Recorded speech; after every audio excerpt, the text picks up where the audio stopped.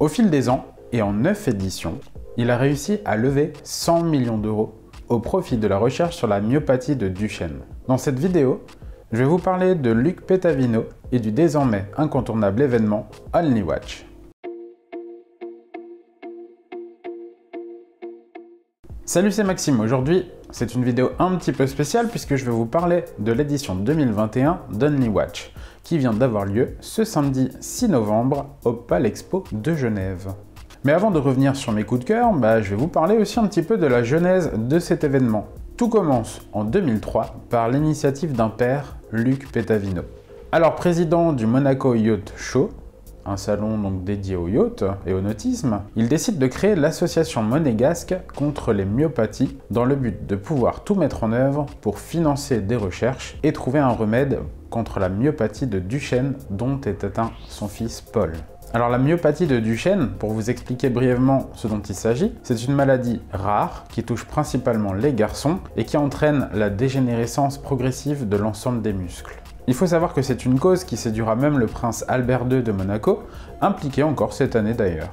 Utilisant la notoriété du Monaco Yacht Show, Luc Petavino a l'idée de consulter des acteurs de l'industrie horlogère, notamment un certain Jean-Claude Beaver, alors chez Blancpain et sponsor du salon, et de proposer une vente aux enchères dont les bénéfices iront à l'association. C'est ainsi que 34 marques horlogères proposent des modèles uniques. Fort de ce succès, l'idée de départ ayant été concluante, pourquoi ne pas recommencer cet événement? Mais sous une forme de biennale et avec un nom bien à lui. Et c'est ainsi qu'Only Watch voit le jour officiellement en 2005. Au fil des éditions, il y a en moyenne une cinquantaine de pièces uniques qui sont proposées à la vente aux enchères, dirigées de main de maître par des piliers du milieu, par exemple Antiquorum ou Christie's. Et imaginez même des montres créées conjointement par Richard Mille et Philippe Stark. Il faut savoir que 99% de l'argent récolté sert à financer la recherche. Et même si Paul, le fils de Luc Petavino, n'est plus là pour voir ce que son père a pu accomplir, nul doute qu'il aurait été fier de voir que la recherche avance et que des essais cliniques arrivent. Souvenez-vous, il y a deux ans, en 2019, lors de la précédente édition d'Only Watch, le record des enchères avait été obtenu par la vente d'une Patek Philippe Grandmaster Shine à plus de 30 millions d'euros pour cette montre possédant 20 complications. Et pour cette édition 2021, on monte d'un cran. Difficile, à l'heure de l'importance des réseaux sociaux, d'échapper à ce raz-de-marée orange à toutes ces publications que l'on peut voir depuis quelques mois, euh, nous présentant donc ces modèles uniques créés par les marques horlogères pour cette occasion. Et peu importe la taille des entreprises, hein, qu'elles fassent partie de grands groupes ou qu'il s'agisse d'horlogers indépendants, tout le monde y participe et y va de sa création. Chacun donc pu s'exprimer et proposer un modèle unique pour cette grande vente de charité. Je vous rassure, je ne vais pas présenter les 53 montres, hein, parce que sinon on en a pour des heures. Vous les trouverez en tout cas facilement sur le site d'Only Watch ou de chez Christie's. En tout cas, moi là, j'ai envie de vous parler de mon top 5 rien qu'à moi. Mais honnêtement, difficile de faire un choix, par contre, tant le niveau et la diversité étaient au rendez-vous. Allez, on commence par le lot numéro 1. Acrivia Chronomètre Contemporain 2. Créé par Recep Recepi, Acrivia propose une montre dont le boîtier de 38 mm est en platine et fabriqué à la main par Jean-Pierre Hagman. Alors c'est un nom qui vous parlera peut-être pas, mais euh, c'est un nom qui parle dans le milieu, croyez-moi. Certifié chronomètre par l'Observatoire de Besançon, la montre est dotée du calibre maison RRCC2. Le cadran se voit pourvu de plusieurs couches d'émail, dont de l'émail grand feu opaque et de l'émail flanqué translucide. Ça serait pas mal dans une vidéo sur l'émaillage. Je sais pas ce que vous en pensez, mais euh, parce que là dit comme ça, qui pourrait me dire en commentaire ce que c'est de l'émail flanqué On retrouve aussi une complication de seconde morte. Vous savez, un petit peu à la manière des montres à quartz. Une seconde, une seconde, une seconde. Prix de vente estimé de cette montre entre 70 et 100 000 francs suisses vendu pour 800 000 francs suisses. Attention, cette fois-ci c'est la deuxième montre de mon top 5, le lot numéro 21 de Béthune avec Voutilainen, Kind of Magic. C'est un duo qui a imaginé cette montre, Denis Flageolet, créateur chez De Béthune, et Kari Voutilainen, horloger indépendant. La boîte est en titane grade 5 et fait 43,3 mm de diamètre. On retrouve également du titane un petit peu partout, hein, euh, ainsi que d'ailleurs de l'or blanc et de l'or rose. La montre a la particularité d'avoir deux faces qui basculent. Un peu comme si c'était les deux univers des deux horlogers que l'on retrouve sur chaque cadran. Mais euh, ça finit quand même par se rejoindre. On a également une complication de seconde morte, donc comme la montre de chez Acrivia dont j'ai parlé juste avant. La lecture de l'heure est centrée autour du balancier, accompagné de l'index des minutes en périphérie. Oui, c'est un petit peu particulier, mais bon, à événement exceptionnel, montre exceptionnelle aussi, j'ai envie de dire. En tout cas, je vous laisse admirer les détails en photo. Vous pourrez apprécier le calibre OW21, OW21, OW Only Watch Bah oui, calibre créé spécialement pour l'événement, avec notamment son double barillet autorégulant, offrant ainsi une réserve de marche de 4 jours. Et on parle ici d'une estimation de vente entre 200 000 et 250 000 francs suisses, vendue pour 1,3 million de francs suisses. On passe maintenant à la troisième montre que j'ai retenue, le lot 22, l'une des pièces que beaucoup de monde attendait. Eh oui, bah deux noms de légende hein, dans leur propre domaine.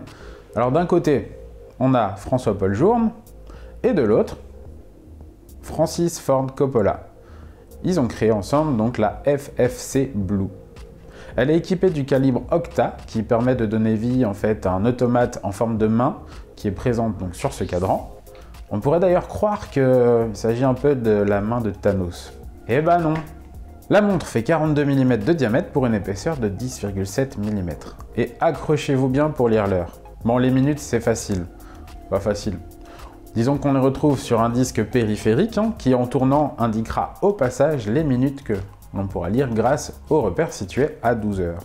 Et pour les heures, eh ben on peut les lire grâce aux doigts de la main, qui évolueront à l'aide d'un automatisme alimenté par le ressort du calibre. Je vous l'accorde, l'idée d'indiquer 12 heures avec une main possédant que 1, 2, 3, 4, 5 doigts, c'était bien étrange. En fait, il semblerait que l'inspiration provienne de la technique chinoise pour compter avec les doigts. Et pourquoi l'idée d'une main? Eh ben, ça provient d'une illustration faite par Ambroise Paré d'une main mécanique. Ça vous dit quelque chose? Ambroise Paré, chirurgien français du XVIe siècle, souvent considéré comme le père de la chirurgie moderne. Et d'ailleurs, son nom, sa date de naissance et de décès sont gravés sur le rotor du mouvement. Bon, on pouvait se douter qu'avec la renommée de FP Journe, la montre estimée entre 300 et 400 000 francs suisses les francs suisses et les euros, on est quasiment pareil, d'accord? Donc vous avez déjà une belle idée des sommes euh, dont on parle ici. Donc comme je disais, la montre estimée entre 300 et 400 000 francs suisses, bah, on peut imaginer qu'elle allait vite s'envoler. Et puis bah, c'est visiblement ce qui s'est passé, puisqu'elle a été adjugée vendue à 4,5 millions de francs suisses. J'ai envie de dire là qu'il s'agit d'une main gagnante. Ouais, elle était facile. Mais restez jusqu'à la fin, parce que vous verrez qu'il ne s'agit pas du record de la vente.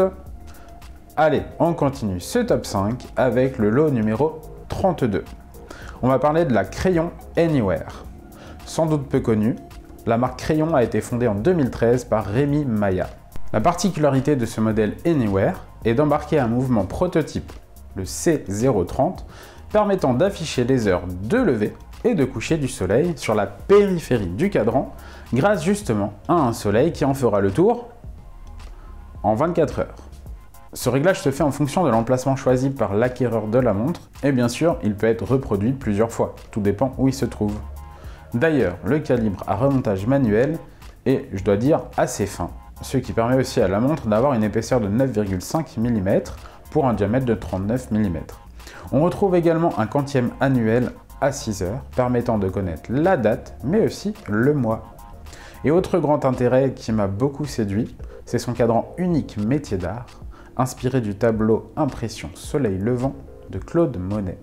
Estimée entre 95 et 120 000 francs suisses, elle a été vendue pour 320 000 francs suisses. Et attention, cette fois-ci, c'est le dernier lot de mon top 5. Attention, Je tiens à préciser qu'il ne s'agit pas d'un classement par contre.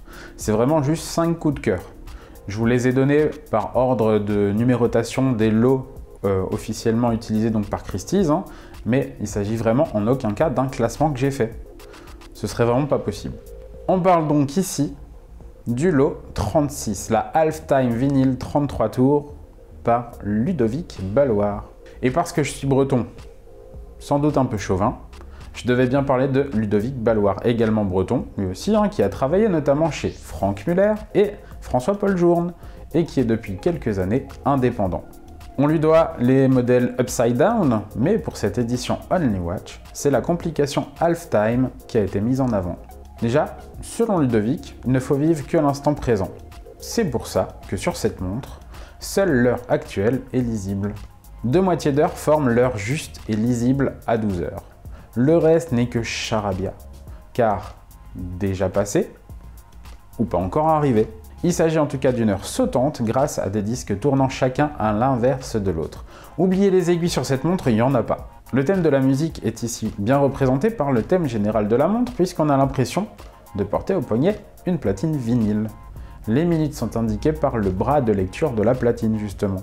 Et chose plaisante à voir, il s'agit de minutes rétrogrades, ce qui veut dire que arrivé à 60, le bras repart à 0.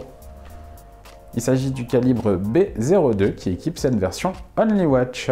Le boîtier en platine mesure ici 41 mm de diamètre pour une épaisseur de 11 mm. Estimée entre 40 et 60 000 francs suisses, la montre a été vendue pour 140 000 francs suisses. Difficile d'avoir une seule préférence parmi si tant la diversité, la qualité et les innovations sont au rendez-vous. Mais toujours est-il que le monde horloger a su être présent pour cette noble cause. Et ça, franchement, c'est à souligner. Bon, il y a bien sûr d'autres marques dont j'aurais aimé vous parler, mais c'est vraiment difficile d'être exhaustif dans cette vidéo, hein, comme je disais juste avant.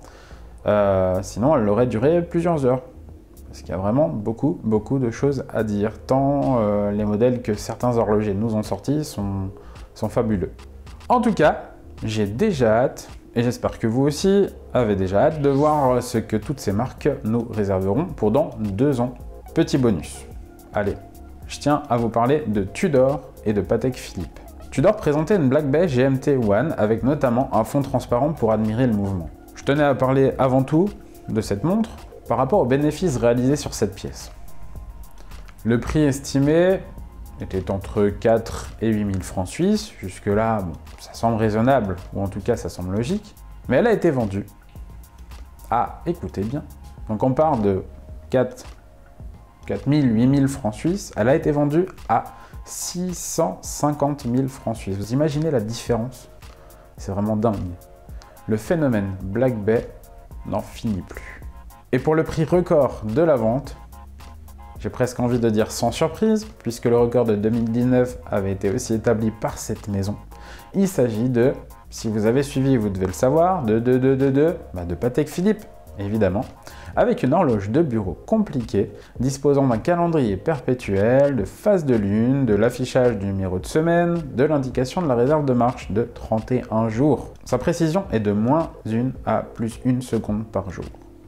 Cette exceptionnelle grande complication est logée dans un coffret en argent sterling, avec des éléments décoratifs en vermeil et des incrustations en noyer américain. C'est peut-être mieux que le noyer européen. En tout cas, ça fait classe. En tout cas ici, on parle d'une estimation déjà conséquente hein, à 400-500 000 francs suisses et qui s'envole finalement au prix de 9,5 millions de francs stratosphériques. Encore une fois, merci Patek. Allez, gardons en mémoire qu'au final, c'est près de 30 millions de francs suisses qui auront été récoltés pour l'édition 2021 d'Only Watch. C'est un événement qui, je pense, doit être considéré avec intérêt et qui permet de faire avancer une belle cause. Nous verrons ce que nous réserve Luc Petavino pour la dixième édition qui aura lieu en 2023, mais j'espère que le succès auprès des horlogers sera toujours au rendez-vous et qu'il pourra être accompagné aussi par des bonnes nouvelles du côté de la recherche scientifique également. Allez, n'hésitez pas à me dire en commentaire ce que vous pensez d'un tel événement. Mais également, euh, vous pouvez me dire aussi euh, quelles étaient vos montres préférées parmi tous les lots présentés lors de cette édition 2021. Parce que j'en ai présenté que 5, allez 7 avec la Tudor et la Patek Philippe. Mais il y en a vraiment pour tous les goûts, donc n'hésitez pas à me le dire. Sur ce, on se retrouve dans une prochaine vidéo. Si vous aimez la chaîne et que vous souhaitez faire partie de cette communauté, abonnez-vous, actionnez la petite cloche hein, pour ne rien louper des nouvelles vidéos, des nouvelles actualités. Et puis, bah, faites-la découvrir à vos contacts, hein. c'est tout ce que je demande. Voilà. Allez, à bientôt, salut